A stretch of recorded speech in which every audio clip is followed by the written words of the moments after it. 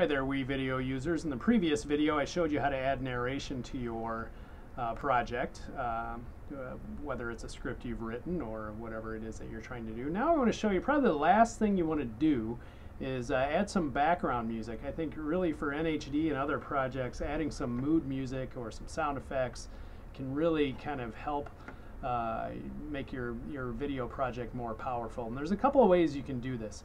In the WeVideo collection of uh, kind of things that come with it, standard features, I guess, there is some music. And they have them kind of based on different kinds of moods. So uh, they have some jingles, they have some things kind of based on cultures, maybe some things that are historical. Um, let's say I want to see what some of these sound like. So they have car chase. If I click on this, kind of get that kind of a sound going. Uh, so you can listen to them and see what they sound like.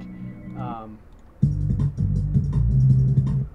about any of these really. Uh, let's say I like that one. So if I like the free jam one and I want to put that at the beginning of my project, I, just like uh, anything in the media, you just drag it down and put it where it goes.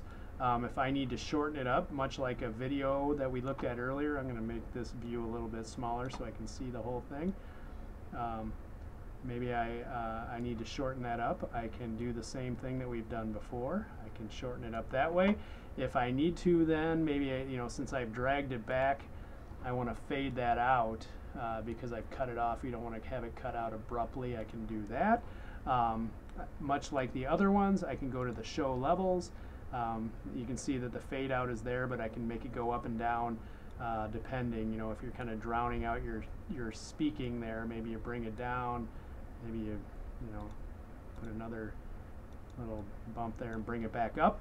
You can do that. So they have their own uh, audio that you can use. You can also, I'm going to go back to my media. I uploaded one earlier, but you can upload MP3 tracks or other music that you have, maybe from your iTunes library or something like that. So you hit upload and choose it from your computer and upload it.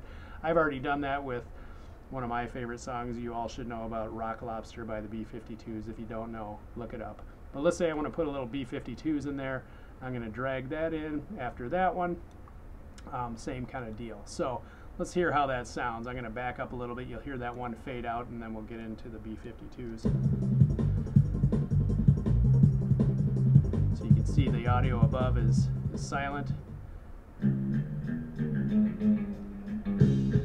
can you go wrong? So